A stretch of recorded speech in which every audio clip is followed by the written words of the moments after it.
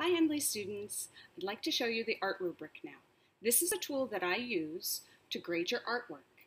And as you can see, this art rubric has wonderful pictures for you to see, so it's easy to follow.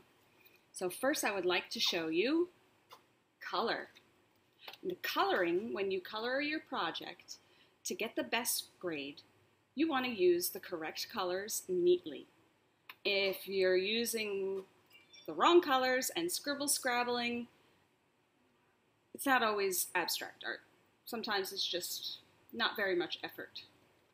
Materials and how you use your materials. Are you using the materials correctly or are you breaking everything and using them incorrectly and not treating them with respect?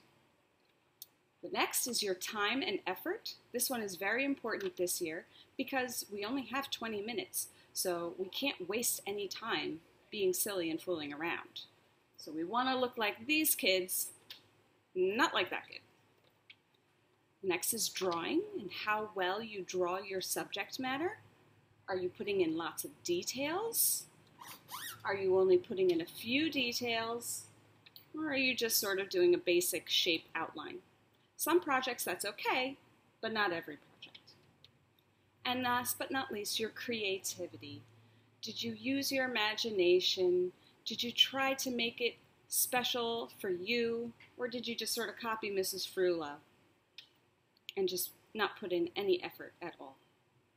I hope this is helpful for how you look at your report cards and when you see your art indicators so that you know how Mrs. Frullo came up with that letter and you know what I'm looking for when I am grading your projects.